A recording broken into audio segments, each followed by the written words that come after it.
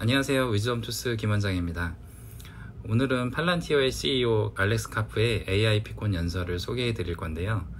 여기에서 챗 GPT나 제미나이 같은 대형 언어 모델을 갓 입학한 똑똑한 고등학생 정도라고 평가를 하는 엄청난 말을 합니다. 이런 모델들이 흥미롭기는 하지만 비즈니스를 혁신하기에는 부족하다는 말입니다.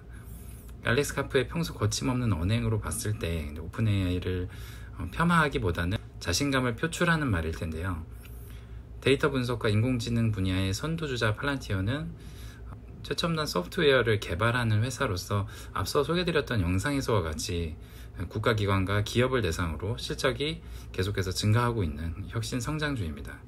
여러분이 이 영상을 통해서 팔란티어의 혁신적인 접근과 기술력에 대해서 더 깊게 이해하고 현대 비즈니스 환경에서 데이터 AI의 중요성을 다시 한번 알게 되기를 바라겠습니다.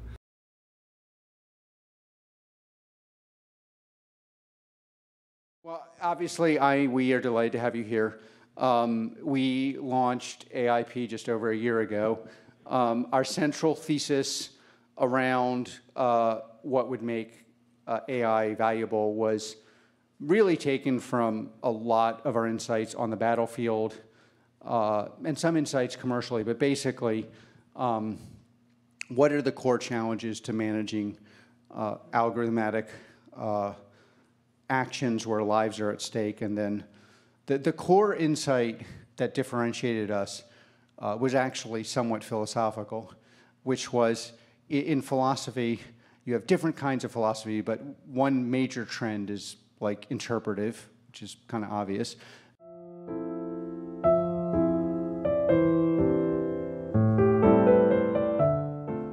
But things that are naturally interpretive can never be turned into things that are non-interpretive. There's actually a huge battle going on in the world uh, between those that believe in interpretive and those that don't. And by and large, as a generalization,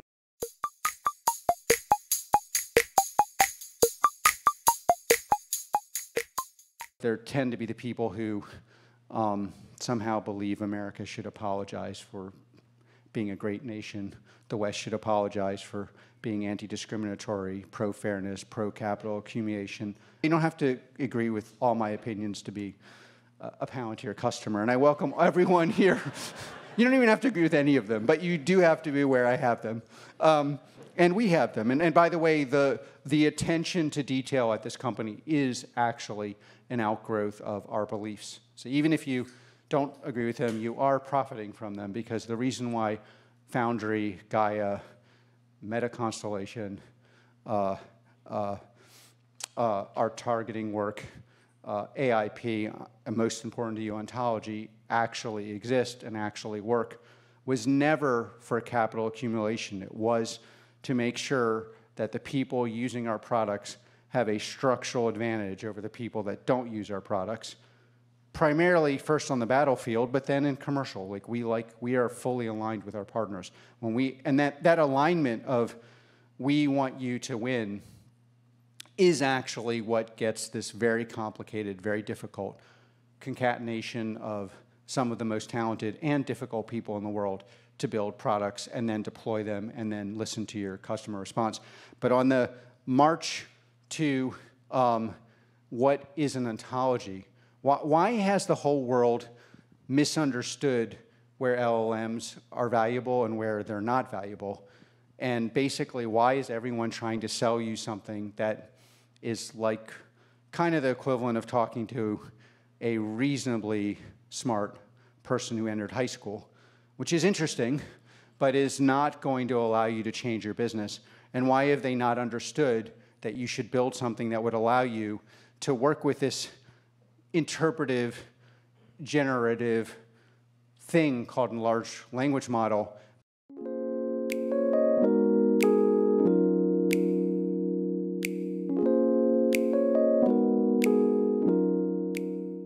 But in a way where you can actually impose uh, the knowledge from it, the logic of your business, the understanding of your business inside the architecture of a modern enterprise. Why have people have, why, why are there so few products? It's like you have the chips they create the LLM. And then de facto, you need something like an ontology. And why did we build it? Because we had a realistic understanding of the intersection between insights, a- raw resource uh, that needed to be used as a raw resource, large language models, and the complicated architecture of your business that ma- is the precursor for any, any enterprise, any society working. And at the end of the day, it's that product that has powered us from no clients to 70 people here presenting and hundreds of people interested, and is going to power both this company and, quite frankly, those that adopt, especially in America, into a superior position. Because in the end, you have products, your business, chips, and ontology.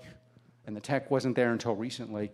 But it is incredibly gratifying, uh, unbelievably gratifying to then see these things in action on the battlefield where these things have actually saved and on occasion taken lives, in your enterprises where we see people who are getting extraordinary value, and also uh, uh, then the fact that people come here and speak in public about it is just incredibly motivating to me because, again, it shows you have this idea. The idea is uniquely suited to making the best people in the world, companies in this country especially, but all over the world, the West, our military and intelligence service better and better and better and give you a distinct advantage. And then, lo and behold, uh, despite the fact no one believed, except for our retail investors and me, uh, uh, um, it actually works.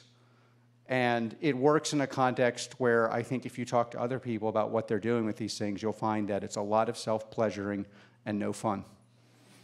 Uh, yeah. Uh, you know what it's like to be a Palantirian in high school. Um, it's, uh, it's, it's, um, so any case, with that, I'm super happy to have you here. I feel very honored.